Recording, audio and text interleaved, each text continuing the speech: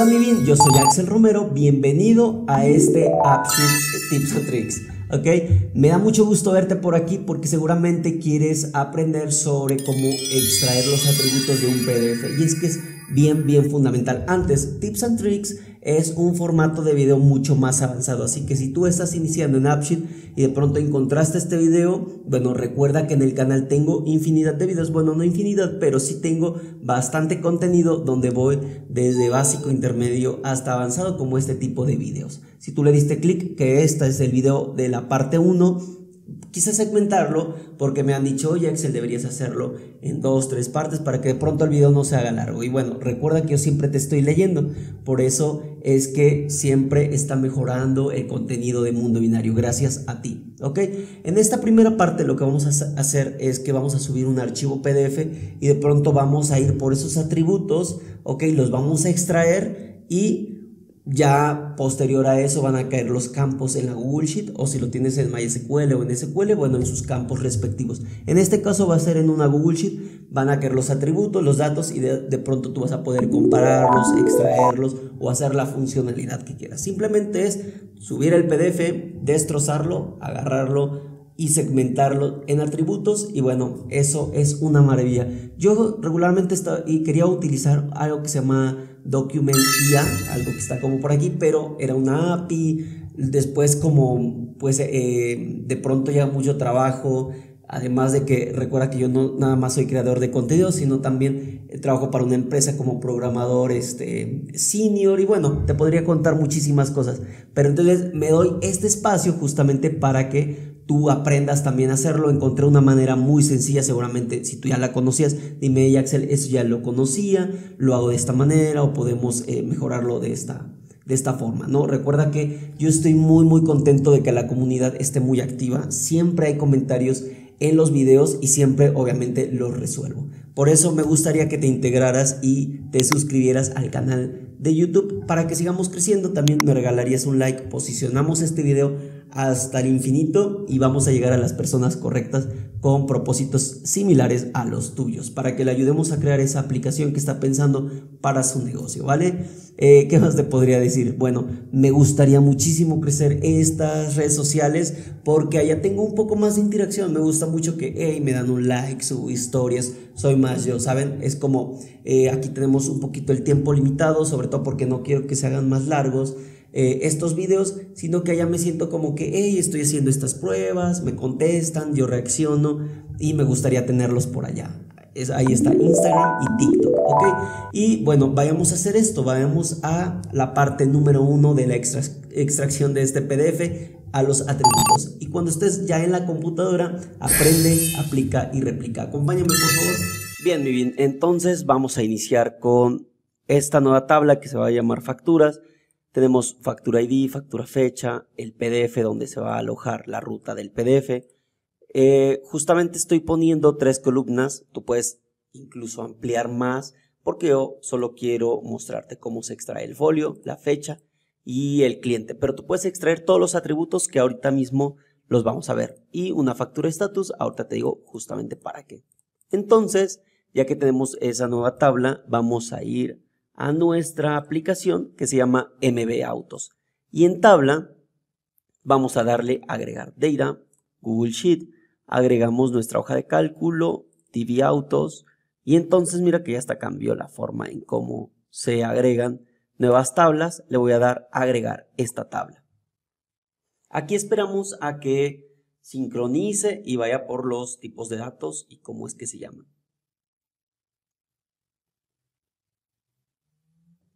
Bien, ya que tenemos nuestra nueva tabla, que debería estar por aquí, incluso si no vamos a ocupar el search, porque como puedes ver este proyecto es demasiado largo.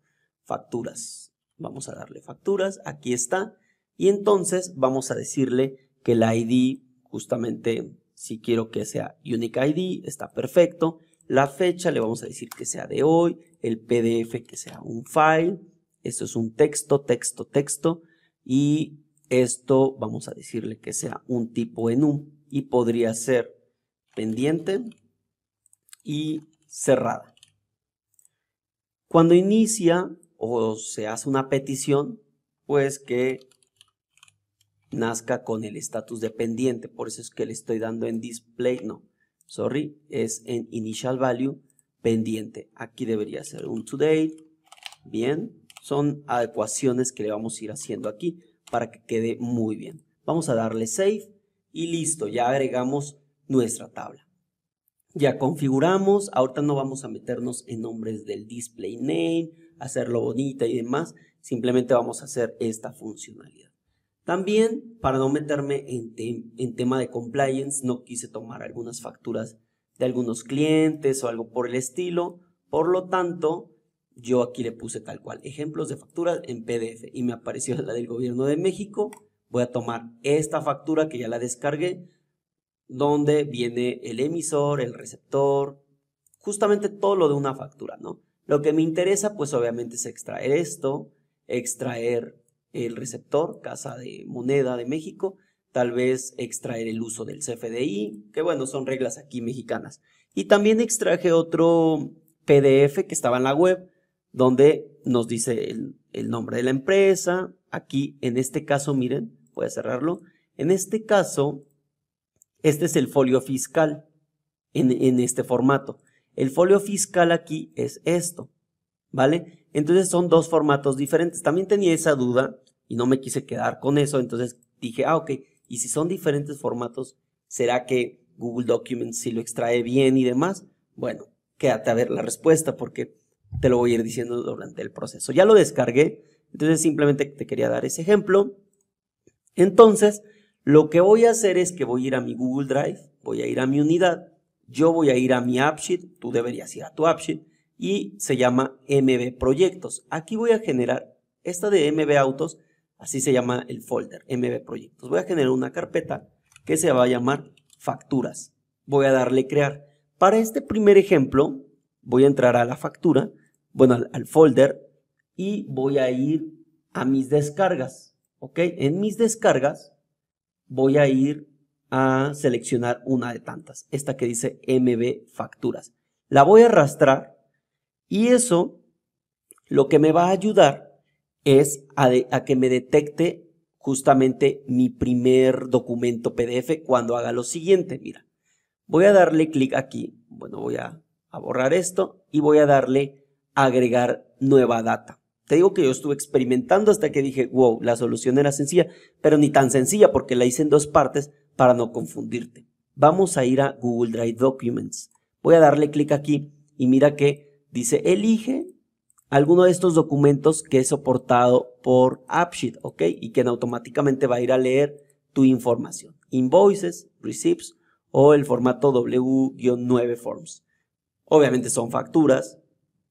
Aquí vamos a navegar a la carpeta de AppSheet. Esperamos a que reconozca todos los folders y debería reconocer justamente el de Data y luego todo lo de mis proyectos, que es MB Proyectos y luego facturas. No hagas esto que hice ahorita, irme hasta facturas. Si no, te vas una carpeta antes y en facturas le das Select. Aquí lo que va a hacer es ir a encontrar, ok, la estructura de tu data justamente cómo quieres que se llame facturas, pero yo no quiero que se llame facturas tal cual porque yo ya definí una tabla de facturas, sino le voy a decir facturas PDF, ¿te parece? Porque vamos a extraer el, PDF. Le voy a dar Create Table y AppSheet va a hacerlo por ti, va a definir la tabla y sin ningún problema se va a hacer toda esta estructura. Algo bien interesante aquí que quiero que veas es que voy a abrir otra hoja, aquí en mi workspace, una hoja de cálculo y ve cómo se generó esto en automático, que dice facturas PDF parent y facturas PDF line item. Si yo abro lo de parent, vas a ver que justamente ya lo leyó, aunque aquí no lo ha terminado, voy a abrir esa factura que yo acabo de subir junto con ustedes. Recuerda que yo siempre soy transparente y me gusta darte todo este detalle porque cuando vienes y me comentas y me dices, Axel, estoy agradecido contigo, es muy motivador, de verdad, porque dije, valió cada minuto invertido en este video. Mira, esto es lo que está aquí, ¿lo ves? Súper padre, ¿no? Y todo esto, por ejemplo, esos 115.20, aquí están.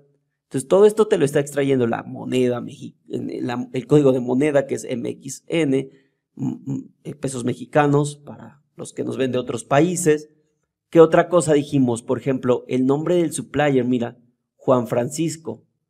Y el receiver, Casa de Moneda. Está interesante, ¿no? Y si abrimos la otra, vamos a darle clic derecho, a ver, vamos a darle clic aquí. Y voy a abrir ahora la de line. En líneas, pues me aparece justamente las líneas. Mira, quisiera abrirlos los, ambos para que tú veas cuál es la diferencia. Una es la del header y otra es la de las líneas, items. Ven que yo siempre manejo header y items, justamente por esta estructura, todos lo manejan así. Mira, este es mi ID, que es terminación 8F1, y 8F1 contiene todos estos items. Hay alguna manera que todavía falla un poquito, porque mira, me identificó como si tuviera 7, 7 pues líneas, ¿no? Cuando en realidad aquí, ¿dónde está?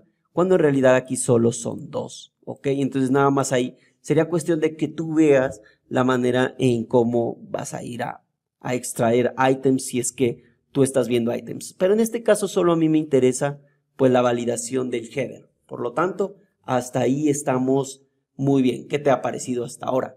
Entonces, ya para terminar, voy a, voy a decirte qué vamos a hacer en el otro video y pues prácticamente lo que vamos a hacer es, o bueno, justamente lo vamos a hacer.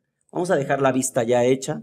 Vamos a darle View y vamos a decirle aquí facturas. Ahorita lo voy a dejar en el menú para tenerlo aquí de pronto muy rápido. Le voy a dar en Table y lo que voy a mostrar es, ah bueno, debe venir de la tabla de facturas. Facturas, facturas, por aquí debería estar. Voy a ir más para abajo. Bien, y aquí voy a darle pues la fecha de la factura, el PDF, voy a darle el folio de extracción, voy a darle un folio de extracción, ok, ¿qué más necesito mostrar aquí? Y el estatus. De hecho, no necesito mostrar el folio de extracción ni el cliente de extracción, solo la fecha, el PDF y el estatus. Vamos a darle en facturas, vamos a darle save para ver si de pronto ya me lee de manera automática cuál, mi factura número 2 que aquí tengo, que es la otra que les mostré. Entonces vamos a ver si lo hace. Aquí está muy emocionante porque, mira, voy a darle factura nueva. Le voy a decir aquí, este es un ID que incluso necesitamos ocultarlo, no requiero todo eso. Simplemente, pues es el PDF, ¿no?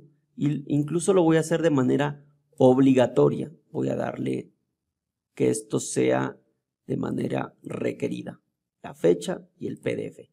Pues simplemente, pues como no requiero ahorita nada más que subir el PDF para que empiece la extracción de los datos, pues simplemente en el form voy a darle PDF. Entonces, cuando tu usuario solicita una factura o quiere validar alguna factura, viene aquí y dice, ah, nueva factura, y voy a extraer, bueno, al darle clic aquí, voy a decirle MB facturados. Le voy a dar Open, le voy a dar Guardar y aquí ya se va a guardar mi primer factura.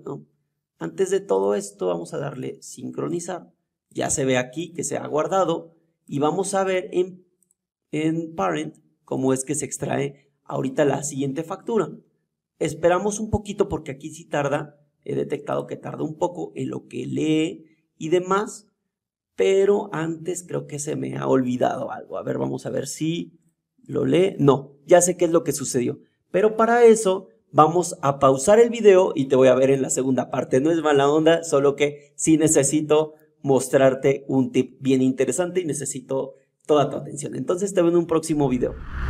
Mi recuerda que yo siempre estoy generando contenido con muchísimo amor. Por lo tanto, te podría generar eh, te podría ayudar este video que está apareciendo aquí. Aquí está el planetita para que te suscribas. Te veo en una parte 2. Cuídate mucho, mi binario favorito.